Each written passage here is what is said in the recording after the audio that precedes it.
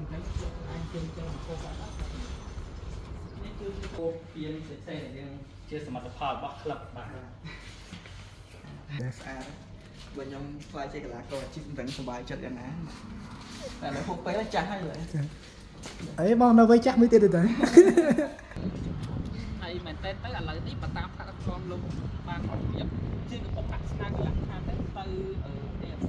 សួស្តីទាំងអស់គ្នានេះជាវីដេអូខ្លីមួយកាលពីម្សិលមិញខ្ញុំបានទៅលេងនៅ Prince Stadium ហើយពេលដែលមកដល់ភ្លាមក៏ទទួលបានអាវរដូវកាលថ្មីមួយពីបងប្រុសហើយស្អាតមែនតើអាវរដូវកាលថ្មីរបស់វិសាខាហើយសម្រាប់ក្លឹបនៅវិសាខាលើកនេះខ្ញុំមកជាលើកទី2ហើយលើកមុនខ្ញុំធ្លាប់មកមើលពេលដែលវិសាខាទាត់ជាមួយនឹង Tiffy Army ហើយសម្រាប់ថ្ងៃនេះខ្ញុំមកមិនមែនមកចោះកុងត្រាធ្វើជាកីឡាកររបស់វិសាខាទេអ្នកនរគ្នាកុំយល់ច្រឡំបាទខ្ញុំលើសគីឡូ1គីឡូកុំអីអាចចូលលេងបានអីចឹងអឺ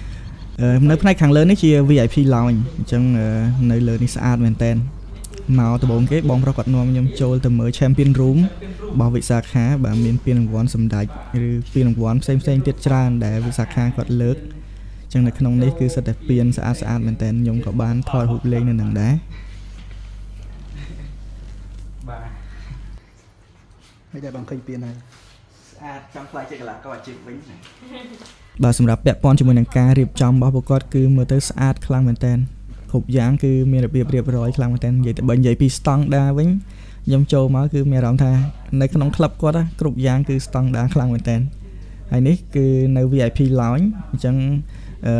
ខ្ញុំក៏ត្រូវចូលមក VIP lounge នឹងដែរហើយព័ត៌មានលម្អិតខ្ញុំនឹងប្រាប់អ្នកទាំងអស់គ្នាជាមួយនឹងមានអ្វីពិសេសពិសេសខ្លះខ្ញុំនឹងប្រាប់អ្នកទាំងអស់គ្នាឲ្យដឹង ហើយលើកនេះគឺឈុតធំទាំងអស់គ្នាគ្រាន់តែប្រាប់ប៉ុណ្ណឹងប្រហែលតិចតិចៗហើយសម្រាប់ស្មៅនៅកន្លាឋានពេលខ្ញុំមកនេះគេតែកាត់ហើយថ្មីថ្មីអញ្ចឹងចេញកន្លាមកស្អាតខ្លាំងមែនតើហើយ VIP lounge នេះគឺមាន buffet មានអីអីនៅនឹងទាំងអស់អាចអង្គុយមើលបាន មានម៉ាស៊ីនត្រជាក់មានអីបាទបាទឥឡូវយើងទៅមើលតទៀតមើលថានៅមានអីទៀតដើម្បីបង្ហាញទៅអ្នកទាំងអស់គ្នាអញ្ចឹងនៅខាងនេះគឺជាកន្លែងដែលកីឡាករគាត់ញ៉ាំអាហារសម្រាប់អាហាររបស់កីឡាករគឺគាត់ ស្តង់ដារខ្លាំងមែនតើគេមិនចេះតែញ៉ាំដូចយើងទេបាទមិនមែនវត្តយកវត្តយកដូចពួកយើងទេអញ្ចឹងកីឡាករអាជីពពួកគាត់របបអាហារគាត់សំខាន់ហើយខាងនេះគឺខាង Academy បាទក្មេងៗអីគេមានមួយខាងនៅខាងក្រោមកន្លែងអង្គុយខាងនោះ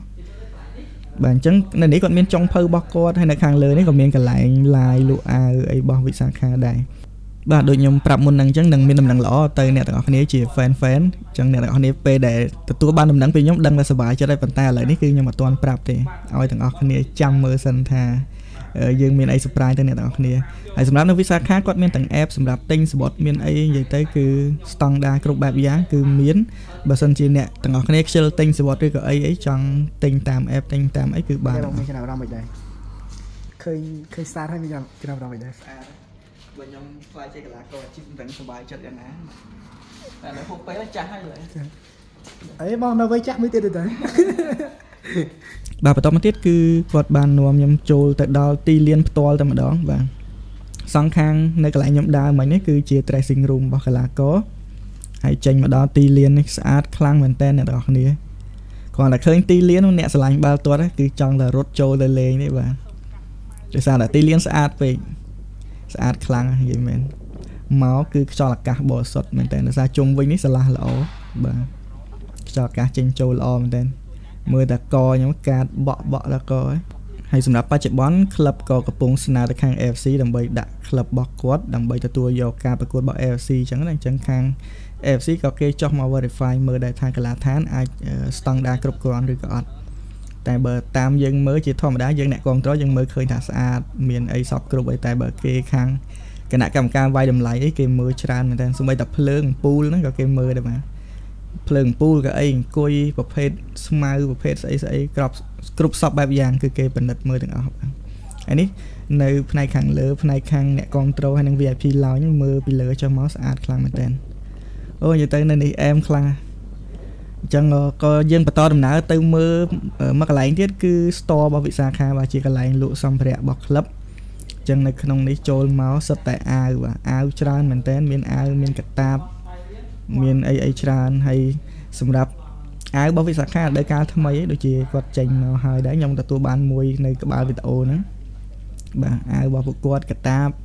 ហើយសំបីតាអាវរបស់ក្មេងៗក៏មានដែរបាទនេះក្តឹប fan បាទចំក់ចំក់ចំក់ទូចទូចអីហ្នឹង សម្រាប់ប៉ាម៉ាក់ដែលគាត់មកមើលបាល់នាំកូនកូនមកអីអាចចូលមកទិញអាវឲ្យកូនកូនបាននៅក្នុងនេះមានបាទខ្សែទូចទូចអីហ្នឹងមានទាំងអស់បាទហើយនៅនេះពួកគាត់មានទាំងប្រភេទ seasonal អាវទៀតដូចអាវតិចទៀតខ្ញុំបង្ហាញឲ្យអ្នកទាំងអស់គ្នាមើលថាមានអាវគេខ្លះនេះ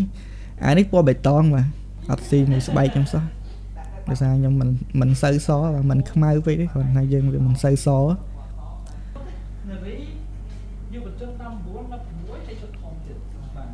ហើយទឹក e-sport មកមួយទៀត e-sport នេះសាខាមួយទៀតបាទបើស៊ីតអើបាទនេះអាវសម្រាប់ខ្ញុំបិណ្ឌសម្រាប់ fan fan អាចមករកទិញបានហើយដូចខ្ញុំប្រាប់ទៅអ្នកទាំងអស់គ្នាអញ្ចឹងអ្វីដែលពិសេសខ្ញុំនឹងប្រាប់នៅវីដេអូក្រោយឆាប់ឆាប់នេះហើយកុំភ្លេចរងចាំមើលទាំងអស់គ្នាថាថ្ងៃនេះខ្ញុំមកគឺយើងមានអ្វីសម្រាប់ surprise fan fan ខ្លះអូខេអញ្ចឹងចាំជួបគ្នានៅវីដេអូក្រោយអរគុណច្រើន